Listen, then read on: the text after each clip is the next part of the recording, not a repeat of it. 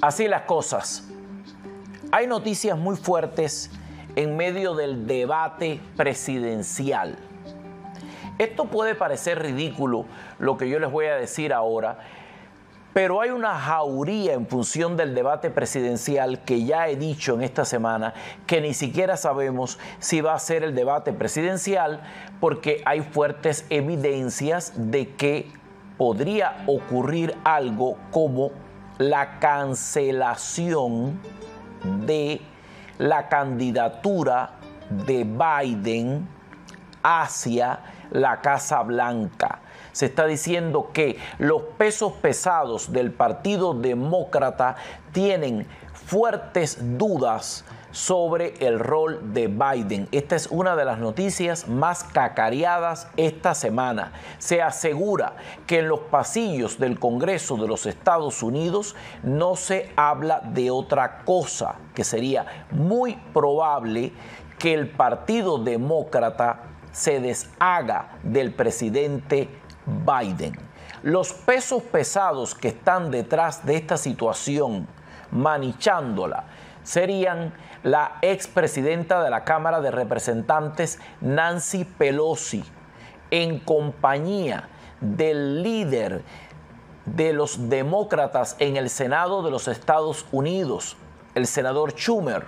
Se está hablando de que hay un gran descontento con Biden por parte de la familia Obama. Los Obama están frenéticos porque Biden no repunta en las encuestas, no tiene buenos resultados y la opinión pública del pueblo de los Estados Unidos le es adversa.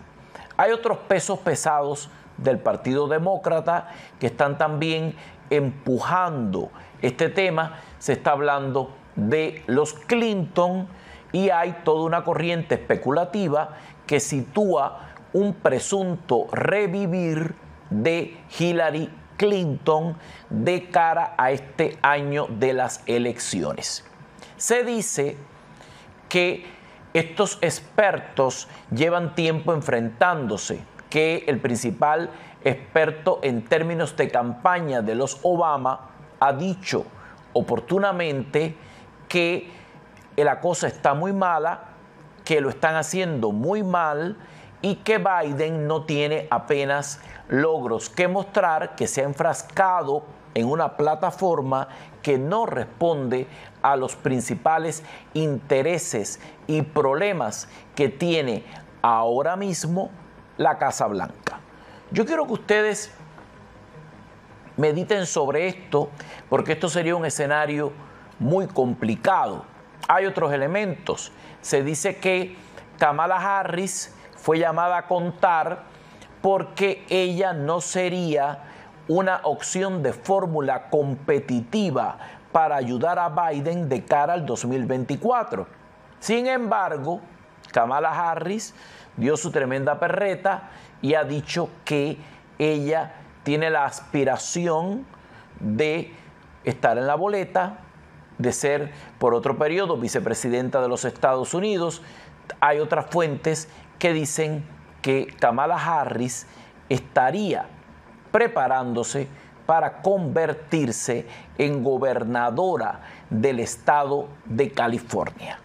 Estas son transiciones abruptas del mundo de la política, pero todo esto podría acabarse después del primer debate presidencial que no sabemos cuán presidencial es.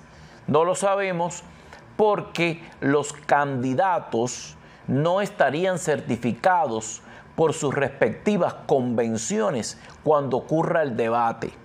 No lo sabemos porque la cadena CNN ha impuesto una serie de normas restrictivas para el debate, entre ellas la peor, no concederle admisión al candidato independiente Robert F. Kennedy, que podría haber sido un elemento interesante dentro de la discusión. La cadena CNN ha acordado con ambas campañas, la de Biden y la de Trump, dejar completamente establecido el hecho de que al debate asistirán los candidatos sin ir cobijados por papelería o información de apoyo. O sea, se les entregará una agenda en blanco, un lapicero, una botella de agua para si tienen que fijar alguna idea y establecerán la exposición de sus argumentos. Que si van a debatir, no van a debatir, van a exponer argumentos. ¿Por qué no van a debatir? Por algo muy sencillo. No lo harán porque los micrófonos estarán cerrados en el caso de que no te corresponda tu turno para hablar. Cuando le den la palabra a Trump, estará cerrado el micrófono de Biden y cuando le den la palabra a Biden, estará cerrado el de Trump. Mucha gente que ha llamado a este programa ha cuestionado el hecho de que Trump se presente a este debate.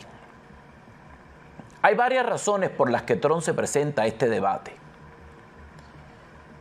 Los que llaman este programa dicen que Trump no debería hacerlo porque si Trump no reconoció nunca como un presidente legítimo a Biden, no debería ir a discutir ni a debatir nada con él, porque si tú lo crees ilegítimo, ¿cómo es que le das la oportunidad de que discuta contigo? Ese punto de vista es atendible, pero el punto de vista aquí más sensato sería entender que Trump ha estado privado de hacer campaña en gran medida por las restricciones de espacio, de tiempo y de libertad de expresión que se le han impuesto como consecuencia de los procesos judiciales. O sea, Trump ha estado ocupado en un cronograma de juicios que le ha frustrado un tanto cumplir con eventos de campaña. El juez Merchan le impuso una orden mordaza que le impide hablar de una serie de argumentos, lo cual limita su expresión oral y su derecho a la libertad de expresión en los Estados Unidos.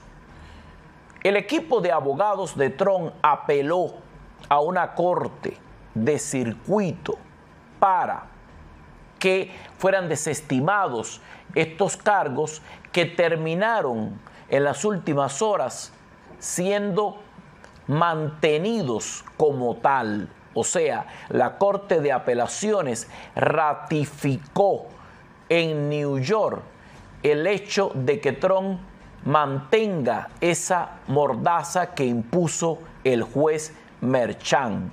La Corte de Apelaciones dijo, no vemos que el caso sea tan grave ni que sea aplicable a este tipo de asunto.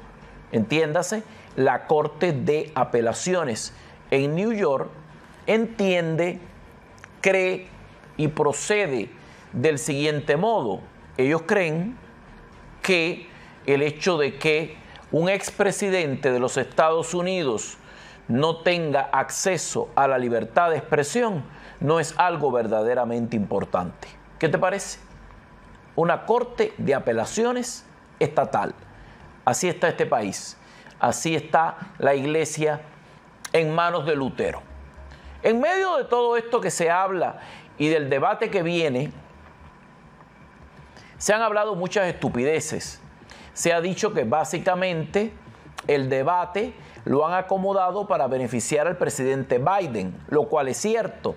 También es cierto que Trump ha perdido muchas oportunidades debido a los procesos judiciales y no debe perder la oportunidad de debatir con su oponente y de ganarle por goleada. Eso es lo que cree el candidato y es lo que cree su equipo. Se han dicho cosas sensatas, se han dicho grandes estupideces, incluso se ha dicho que podría ocurrir que Trump le quite o le cierre los micrófonos a Biden en el debate que tampoco tendrá público con el simple hecho de no dejarlo hablar. ¿Te parece un escenario dantesco, enloquecedor? Bueno, pues hay analistas que creen que esto puede ocurrir. ¿Quieres ver cómo lo cuentan? Evidencia. And and he is yeah, he is a disruptor. And, and he is going to figure out you can cut off the microphones, you can do whatever you want to do. He is a disruptor. He doesn't really know the facts of the issues well at all, so he has to disrupt. He has to shock. He can. It's like your father wrote about the Soviet Union. They can't play by the rules. They can't play by the rules that America plays by because old Soviet Union was inferior intellectually, they were inferior militarily, they were inferior uh, economically, they were inferior politically, they're inferior in every way. And that's Donald Trump. He cannot debate Joe Biden on the merits. So he's going to be a disruptor, and the Biden team better be prepared for Donald Trump to walk. I mean, what would a disruptor do? Okay, you're going to cut off my microphone. I'm going to walk over to your microphone and I'm going to get in your face. I'm going to confess. He could do that. He could do, like, imagine the 10 most disruptive things that Donald Trump could do. And he's going to probably do those very things because he doesn't play by the rules. And if the Biden camp goes into this thinking he's going to play by Marcus of Queensberry rules, they're, they're, they're going to be shocked and it's, the night is going to end badly. La noche va a acabar mal, dice él. La fortuna es que no lo va a ver mucha gente, al menos en el lugar, porque no habrá público. Esto es un escenario dantesco que este señor está pintando de una manera anticipada. Es bastante estúpido lo que está diciendo. Trump siempre se saltará alguna que otra regla, pero el hecho de saltar para ir a quitarle el micrófono a su adversario, taparle el micrófono o apagárselo para que no hable, no creo que sea una opción que se le permita. ¿Qué debería hacer Trump? Déjame tu opinión. 305 728 2021.